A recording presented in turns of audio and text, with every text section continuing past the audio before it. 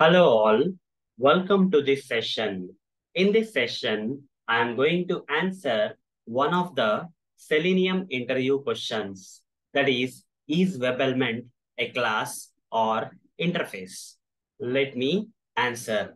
Web element is a predefined interface in Selenium library or Selenium WebDriver library.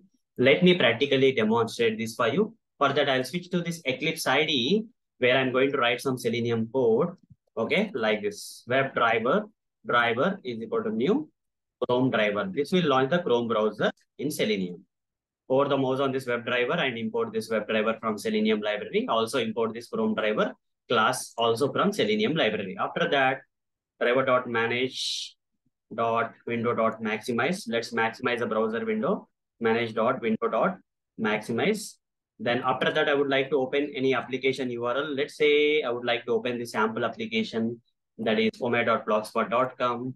Copy this URL and paste it here.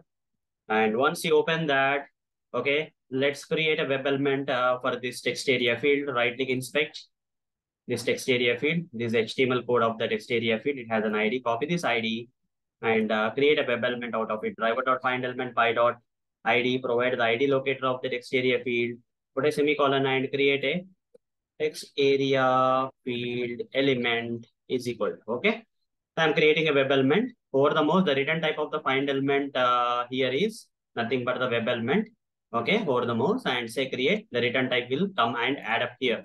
So this web element is a predefined interface or predefined class in Selenium library is the question. If you get this kind of question, you have to simply say it's a predefined interface.